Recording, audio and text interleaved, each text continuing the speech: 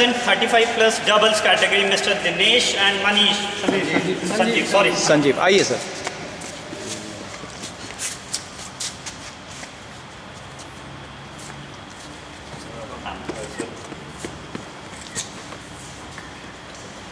Thank you very much. I'll hold this for you. हाँ.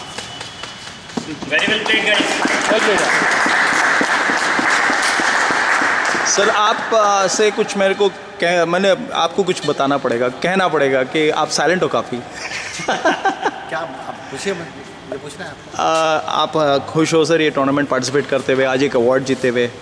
अच्छा ये बताइए कि कितने वीक्स गैप के बाद आज ने ए, आपने एक टूर्नामेंट खेला? आपके लिए भी ये सवाल है क्योंकि हर हर रोज़ तो प्लेयर्स खेलते नहीं बट इतने सारे मैचेस सडनली खेल के और ये ट्रॉफीज जीत के। I mean it's a physical strain तो आपका कितना गैप था इससे पहले? हम तो लास्ट वीक ही खेल मैं तो लास्ट वीक ही खेला था। जी आप वन मंथ हो गया but still you have a trophy in your hand that's great तालियाँ बज जाए भाई please very very well played congratulations